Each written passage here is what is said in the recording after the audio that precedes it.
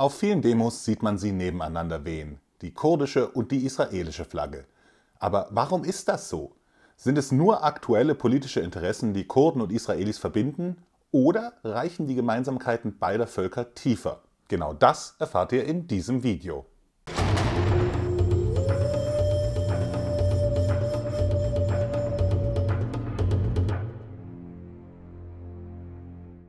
Ich grüße euch, hier ist wieder Konstantin. Und Oft, wenn ich Bekannten, die sich nicht so mit dem Nahen Osten auskenne, wenn ich denen davon erzähle, dass es auf Demonstrationen, gerade in den irakischen Teilen Kurdistans, dass man da sehr oft israelische Flaggen sieht und dass die Kurden insgesamt dort eine sehr positive Meinung allgemein von Israel haben, dann sind diese Leute oft erstaunt.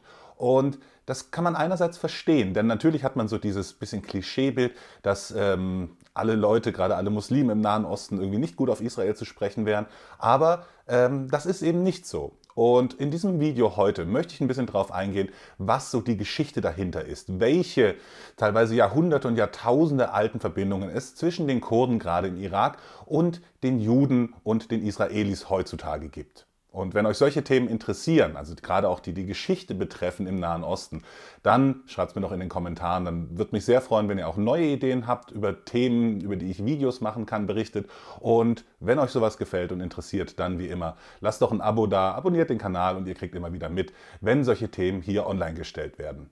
Um die Beziehung zwischen den heutigen Kurden und dem Staat Israel so wirklich zu verstehen, muss man, glaube ich, bis ins erste Jahrtausend vor Christus zurückgehen, nämlich bis zur Zeit des sogenannten babylonischen Exils, auch bekannt als die babylonische Gefangenschaft. Was ist das?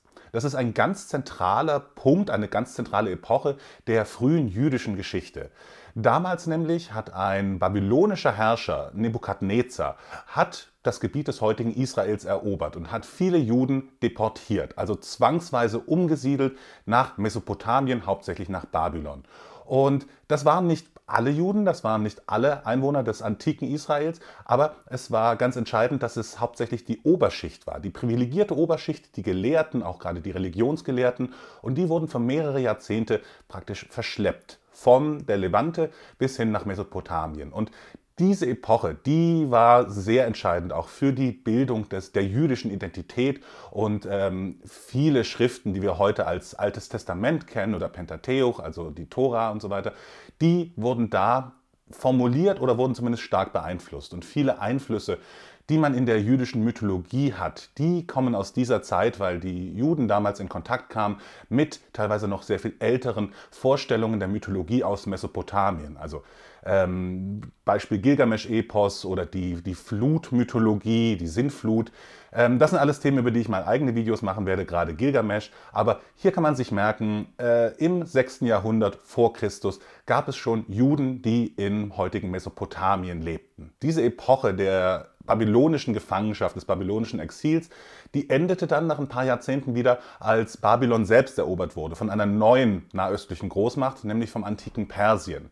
Damals hat dann der persische Herrscher Kyros hat, äh, diese, dieses Exil beendet und hat letztendlich die jüdische Oberschicht wieder zurück nach Jerusalem und zurück an die Levante gehen lassen. Und noch heute gibt es im Irak, auch gerade in den kurdischen Gebieten, Zeugnisse aus dieser Zeit. Also etwa in Kirkuk, das ist umstritten, ob das jetzt kurdisch oder turkmenisch oder arabisch ist, auch wieder ein anderes Thema. Aber in Kirkuk gibt es einen Ort, der als das Grab des, des jüdischen Propheten Daniel bezeichnet wird. Ähm, es gibt im Nahen Osten mehrere Orte, die als Grab des Propheten Daniel bezeichnet werden. Aber auf jeden Fall zeigt es, dass es schon eine sehr, sehr alte Beziehung zwischen Gebieten gibt, wo die Kurden heute leben und dem jüdischen Volk und der jüdischen Überlieferung. Auch sehr interessant ist es dann, wenn man ins erste Jahrhundert nach Christus schaut. Da gab es im Gebiet so um das heutige Erbil herum, gab es ein Königreich namens Adiabene.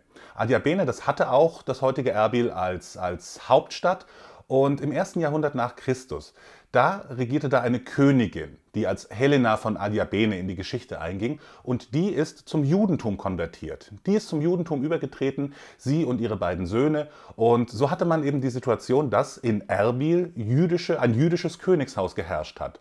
Und diese Helena von Adiabene, die hat auch in der jüdischen Überlieferung und in der jüdischen Geschichte gar keine so kleine Rolle gespielt.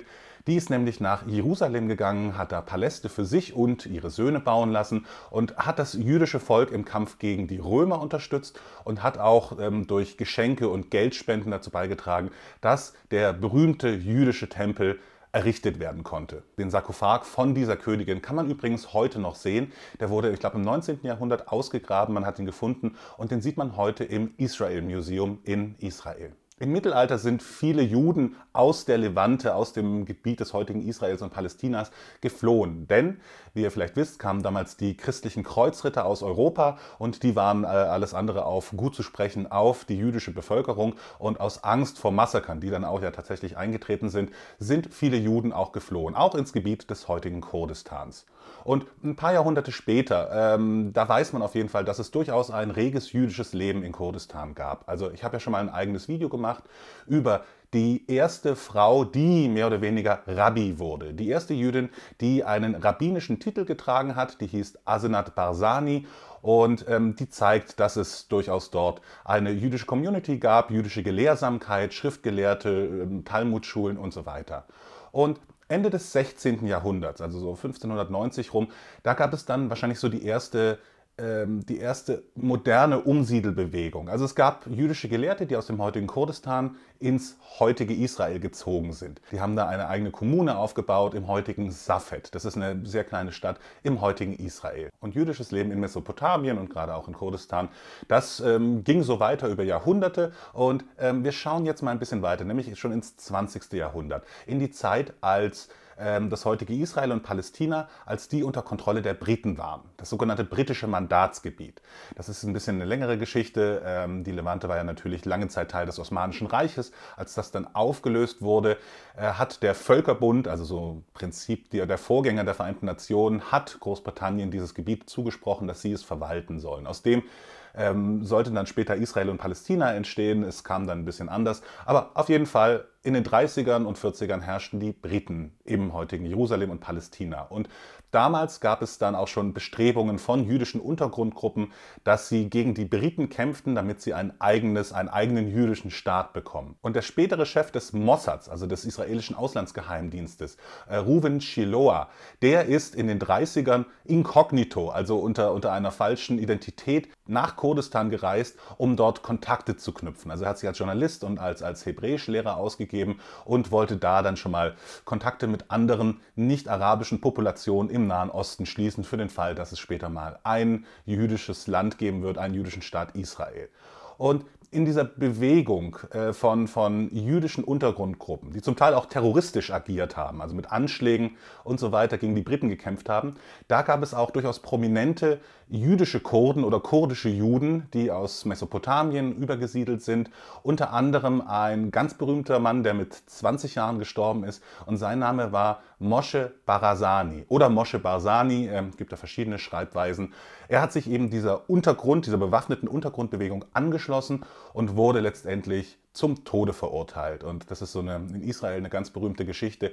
Er und ein anderer Gefangener haben es geschafft, ich glaube in einer Orange, eine Granate ins Gefängnis zu schmuggeln und haben kurz bevor sie hingerichtet werden sollten, sich selbst in die Luft gesprengt. Und ähm, heute wird seiner in Israel ganz groß gedacht. Also Moshe Barzani, wichtige Persönlichkeit in der Unabhängigkeitsbewegung im Israel, als es noch unter der Kontrolle der Briten stand. Nachdem dann Israel ein unabhängiger Staat wurde, da gab es zwei Bewegungen. Das eine war ähm, das, die sogenannte Nakba, so nennen es die, die Palästinenser und so wird es in der arabischen Welt oft genannt, die Katastrophe, nämlich die Vertreibung von Hunderttausenden Arabern aus dem Gebiet des heutigen Israels. Die wurden aus dem Land rausgeworfen und ähm, im Gegenzug, oder nicht im Gegenzug, also es war jetzt kein, das eine rechtfertigt nicht das andere und so weiter, aber Gleichzeitig wurden auch Hunderttausende Juden aus den arabischen Ländern vertrieben und praktisch nach Israel geschickt. Und das traf auch die jüdische Gemeinde, die jüdische Gemeinschaft in Mesopotamien im heutigen Irak.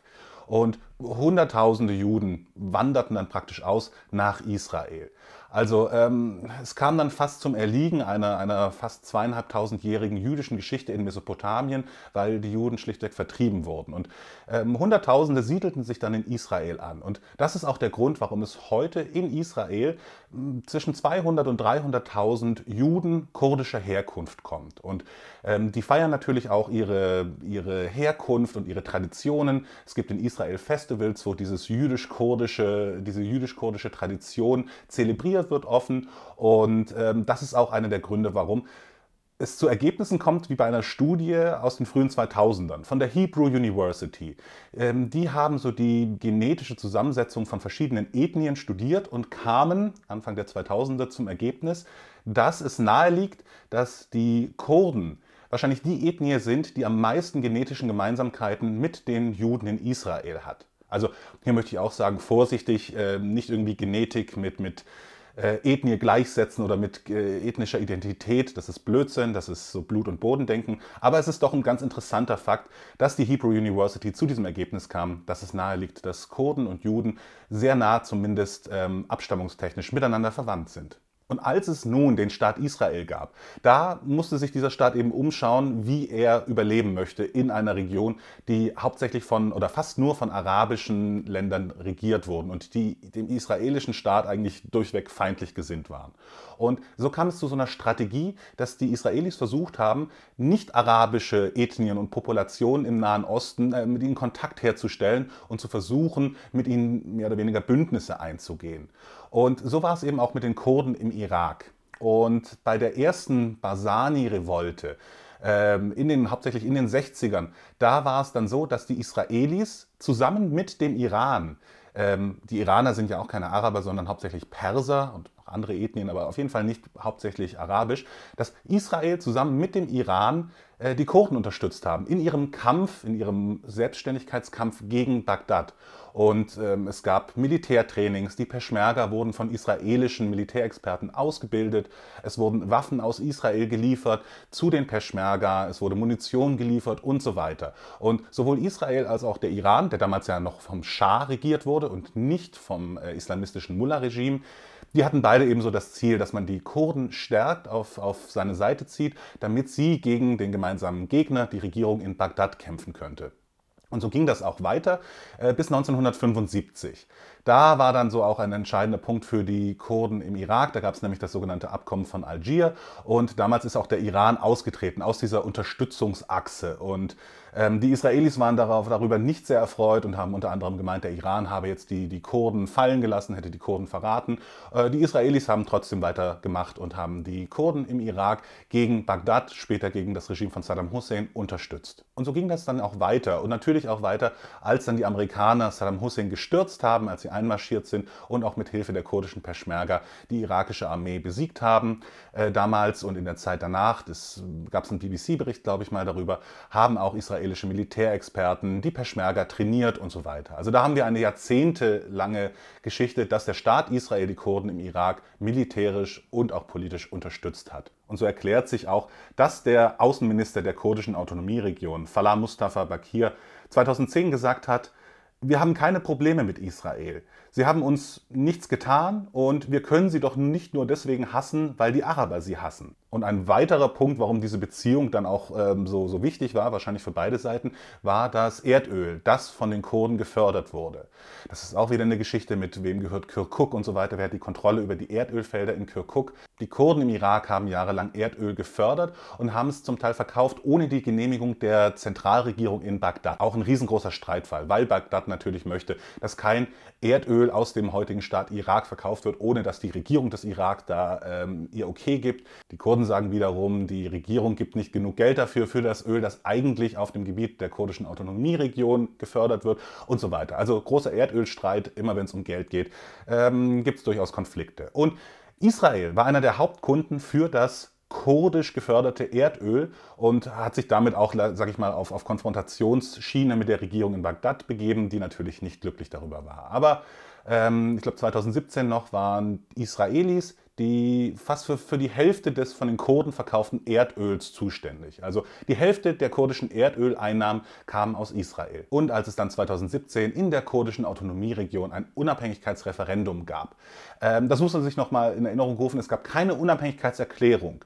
Äh, die Kurden haben sich nicht für unabhängig erklärt, aber es gab ein Referendum, das auch teilweise boykottiert wurde, das ist nochmal ein Thema für sich, aber das mit überwältigender Mehrheit äh, gezeigt hat, dass die Kurden im Norden des Irak einen unabhängigen Staat möchten. Und damals hat, hat kein Land der Welt äh, sie unterstützt, außer Israel. Israel hat sich offen auf ihre Seite gestellt und hat gesagt, ja, wir möchten, dass es ein unabhängiges Kurdistan gibt, was natürlich zu tun hat auch mit geopolitischen äh, Überlegungen. Also dass man natürlich einen Israel wohlgesonnenen Staat haben möchte, an einer strategisch wichtigen Stelle, also gerade an so einer Grenze zwischen Irak, Syrien, Iran und der Türkei, das ist natürlich auch wichtig für die israelische Außenpolitik, dass man sowas hat. Und deswegen war es auch einigermaßen deutlich, dass die diese Bestrebungen unterstützt haben.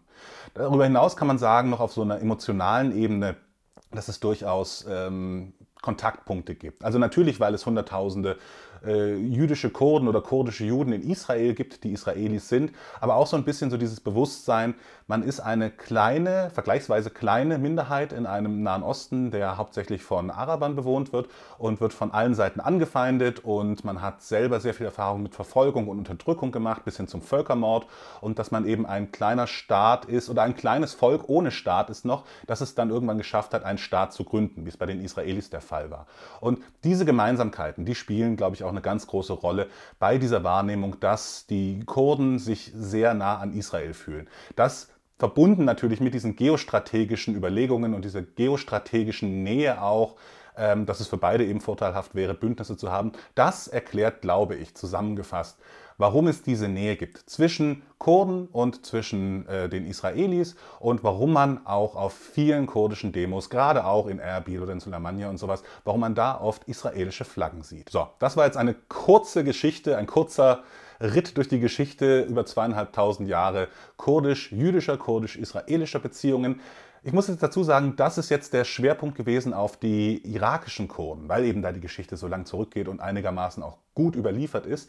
Ähm, es gibt aber natürlich auch schwierigere Kapitel. Die möchte ich mal auch in einem eigenen Video behandeln, wenn es euch interessiert. Nämlich zum Beispiel das Verhältnis von Israel zur PKK und den PKK-nahen Organisationen wie der PYD und so weiter. Denn das ist auch von sehr viel Ambivalenz ähm, getragen, sage ich mal. Es gab Konflikte zwischen der PKK und Israel, es gab Gefechte, äh, es gab auch Fälle, wo in Deutschland PKK-Anhänger versucht haben, äh, vor, vor der israelischen Botschaft zu demonstrieren und in die Botschaft zu kommen. Die israelischen Sicherheitsleute haben Waffen eingesetzt und haben in Deutschland vier PKK-Anhänger erschossen. Also das ist alles ein Thema für ein anderes Mal. Wenn es euch interessiert, würde mich sehr freuen, äh, darüber ein Video zu machen.